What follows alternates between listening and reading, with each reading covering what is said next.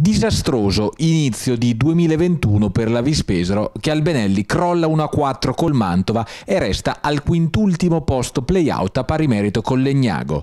Partita compromessa sul nascere col Mantova che va sullo 0-2 grazie alla doppietta di Cheddira con l'evidente complicità del portiere Vissino Bastianello. E al ventitresimo è già 0-3 col fallo di Gennari su Cheddira che costa il rigore segnato da Guccione con lo stesso Gennari espulso per proteste. Cartellino rosso anche per il portiere Tozzo del Mantova e rigore anche per la Vis, che De Feo però si fa parare dal subentrato Tosi, ma Iaki ribadisce in rete sull'1-3 alla mezz'ora. La Vis rientra in partita ma affonda dopo 12 minuti di secondo tempo con la doppietta di Guccione che infila in rete un tiro cross con altra responsabilità del portiere Bastianello. Nel post partita abbiamo ascoltato il centrocampista Tessiore fra i pochi a salvarsi. Non è facile prendere tre gol in 20 minuti, però è stata colpa nostra perché abbiamo approcciato la partita in modo sbagliato.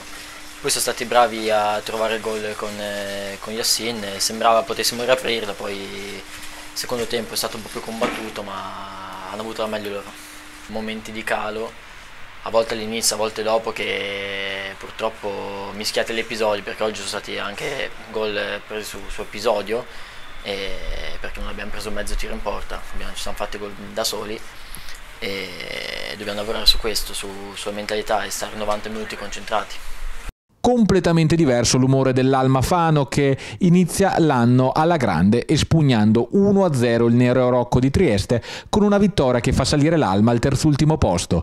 Vittoria ancora più preziosa per il fatto che il Fano è rimasto in 10 sul finire del primo tempo per l'espulsione di Zigrossi. L'Alma tiene e viene premiata dal gol di Ferrara a un quarto d'ora dalla fine. Una partita sofferta molto, poi causa anche l'espulsione, però il, il, grande merito dei ragazzi è che anche in 10 abbiamo cercato sempre di andare a impensierire la Triestina che è una delle squadre più forti di questo campionato. Vince e consolida il secondo posto in classifica l'Ital Service nel campionato di Serie A di calcio a 5. Al Palanino Pizza la squadra di coach Colini batte 8 a 3 la Fel di Eboli in una gara mai in discussione, coi pesaresi in vantaggio 4 a 0 nei primi 12 minuti grazie a due reti di Canal, a un gol di Marceligno e al rigore di Cuzzolino.